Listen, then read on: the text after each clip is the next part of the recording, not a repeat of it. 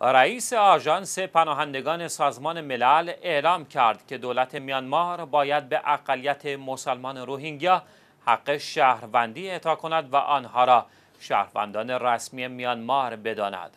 فیلیپا گراندی کمیسیونر عالی پناهندگان سازمان ملل در سفری رسمی به میانمار در جنوب شرق آسیا با ساکنان شهرهای سیتو و مانگاندو در ایالت راخین که محل اقامت جمعیت مسلمانان روهینگیا است دیدار کرد. او همچنین با آنگ سان سوچی رهبر دوفاکتوی میانمار هم دیدار و گفتگو داشت. فیلیپا گراندی درباره اهداف سفرش به خبرنگاران گفت مهم است که روی اعطای حق شهروندی به این جامعه مسلمان که سالهاست از حق شهروندی محروم مانده اند کار کنیم. دولت میانمار حدود یک میلیون روهینگیایی را مهاجر غیرقانونی از بنگلادش میدارد و به آنان حق شهروندی نمی‌دهد این در حالی است که خانواده های روهینگیایی نسل هاست در آنجا زندگی می کنند.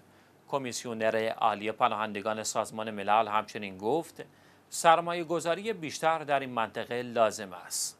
وی افزود اینجا یکی از فقیرترین ایالات میانمار است و نیاز فوری برای توسعه سرمایه گذاری دارد. ایالت راخین در غرب میانمار از زمان پایان حکومت خونتا شاهد بدترین نوع خشونت های مذهبی در این کشور عمدتا بودایی نشین بوده است.